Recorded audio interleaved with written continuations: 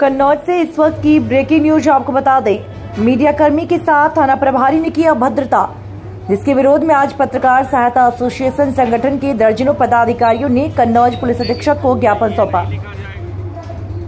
तालग्राम थाना प्रभारी की अभद्रता से पत्रकारों में रोष दिखाई दिया। संगठन के पदाधिकारियों ने पुलिस अधीक्षक से थाना प्रभारी पर कार्रवाई की मांग की।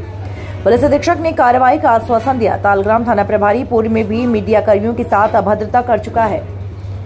आखिरकार कब तक चौथे स्तंभ को दबाने की कोशिश की जाएगी? इक्कीस नौ दो हज़ार तेईस मीडिया कर्मी कुणाल कश्यप के साथ तालग्राम थाना प्रभारी ने की थी अभद्रता। कन्नौज से विकास पटेल के साथ धर्मेंद्र पटेल की रिपोर्ट। क्या मामला था? किस मामले को लेकर आपके लोगों के द्वारा एसपी से मुलाकात की? हमारे पत्रकार साथी कुणाल जी के जो तालिग्राम क्षेत्र देखते हैं वो कवरेज के लिए थाने गए हुए थे।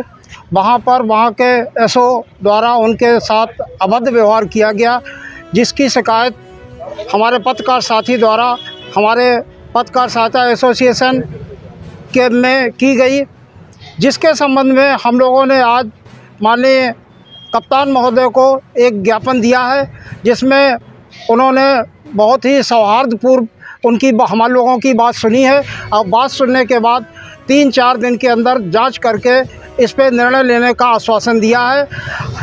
इसको देखते हुए हम लोगों ने निर्णय लिया कि हम लोग सोमवार तक प्रतीक्षा कर रहे हैं कि हमारे ऊपर जो साथी के साथ अभद्रता हुई है, वो ऐसो के ऊपर क्या कार्रवाई की जाती है?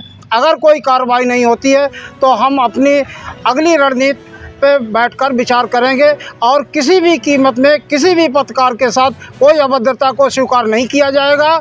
चाहे वो पुलिस अधिकारी हो, चाहे वो गुंडा हो, कोई भी हो, उसके लिए फिर हम लोग तन मन धन से, हर तरीके से, शासन प्रशासन से लड़ने के लिए एकदम से तैयार हैं।